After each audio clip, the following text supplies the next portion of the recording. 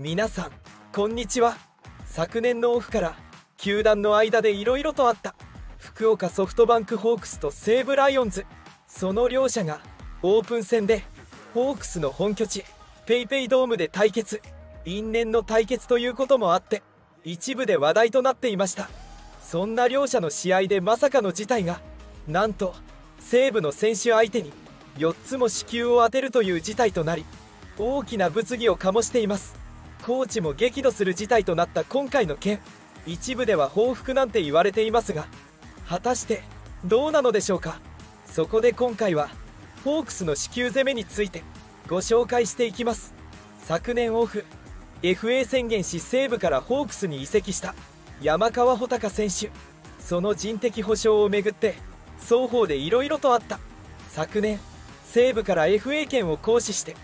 福岡ソフトバンクホークスに移籍した山川穂高選手。その人的保障で和田剛選手が選ばれたと報じられましたが和田選手がこれを拒否。ホークス側が西武に交渉しその結果甲斐野選手が選ばれるという事態になり大きな問題となりましたよね。詳しい真相は分かりませんが双方で何かしら話はあったのは事実なようで。しかもホークス側から特に説明がないままなので今もなおを引いている状態にまた昨年不祥事でほとんど試合に出なかった山川選手の移籍と人的保障拒否は西武ファンからすれば到底形容できるものではなく今日に至るまでホークス及び山川選手に対しては遺恨が残っている状態となっています。そういった背景もあって今季はこの2チームによる試合は例年以上に良くも悪くも盛り上がるとして注目が集まっており一体どんな試合を繰り広げるのか楽しみにしているファンもいました。そんな騒動があった2チームが練習試合で2月28日についに対戦。ここでは騒動になった山川選手や和田選手も出場し山川選手のホームランパフォーマンスが物議を醸す事態に注目が集まっていたこともあって話題となりました。とはいえ試合会場がキャンプ地の宮崎 IB スタジアムで応援団が入ってたとはいえ観客はそこまで多くなく練習試合というのもあって割と平和に終わったと言ってもいい試合だったこの日。しかし次にぶつかった両者の対戦は大荒れの展開となってしまいます。3月15日に行われた PayPay ドームでのホークス対西武戦。オープン戦では初の対戦で今年で見れば2回目。片方の本拠地で試合が行われるのは初となりました。3万2000人の観客が入ったこの日注目が集まっていた話題の山川選手は出場していませんでしたがそれでも大荒れの展開となったのです。試合は初回ホークスが西武先発の今井選手から早速チャンスを作ると4番のウォーカー選手の犠牲フライで先制。一方の西武はホークス先発の有原選手の前になかなか1本が出ない状況が続きます。しかし4回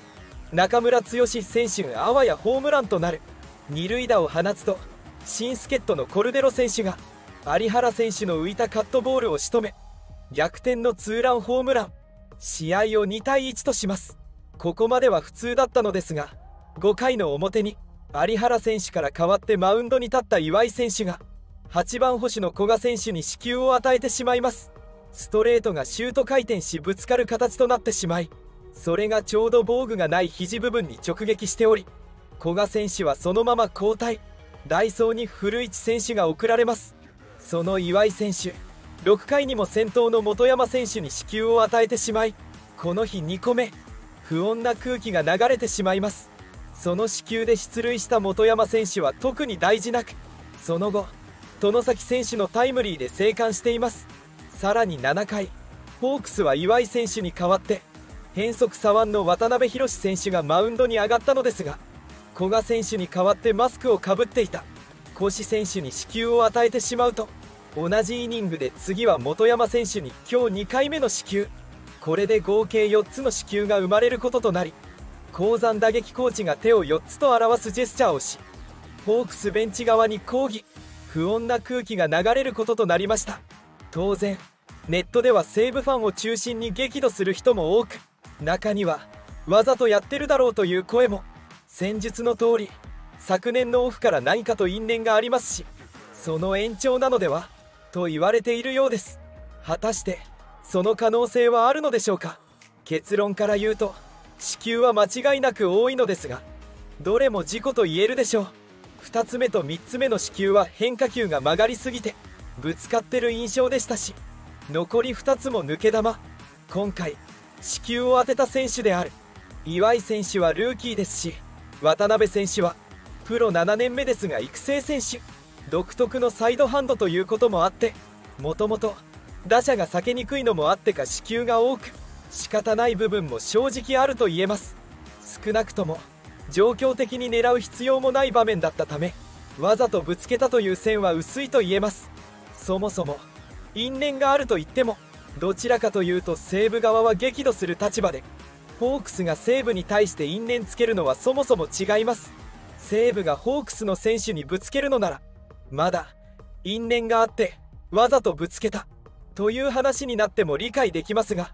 ホークス側がそれをする意味がまずわからないのでそういう因縁つけてわざとぶつけたというのはないと思います。とはいえ四球4は戦術しましたが1試合では非常に多い分類ですし古賀選手が負傷退場している以上ファンとしても選手としても穏やかではないでしょう。特に古賀選手は昨季西武の保守陣の中で最もスタメンマスクをかぶりリーグ1位の盗塁阻止率412を誇るなど奮闘していました。レギュラーシーズン終了後には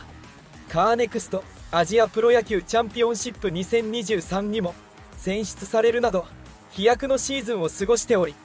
保守が課題の西武にとって希望の存在でしたし本山選手もヤクルトから移籍してここまで好調をキープしており開幕スタメンも視野に入るほど好調でした。その2人が当てられているので勘ぐられるのも仕方ないでしょう。しかもこの試合山川選手が出場していないので余計に勘ぐられる始末。しかもオープン戦でこれなので西武側からすれば割に合わなくなりますしこれで選手が離脱となれば無意味な試合でしかなくなります。当然ネット上でも大荒れになりますしホークスの印象は西武ファンにとってますます最悪となりそうですね。状況などからわざとではなく事故なのは間違いないと思うのですが事態が事態だけに怒りが治らないであろう西武ファンたちますます因縁が深まり開幕すればより荒れそうな展開になるかもしれません。果たして今季両者はどのような試合を繰り広げるのか。今後の試合にも注目が集まりそうです。最後まで動画をご視聴いただきありがとうございました。コメントを残してくれると嬉しいです。チャンネル登録高評価もぜひお願いいたします。それではまた。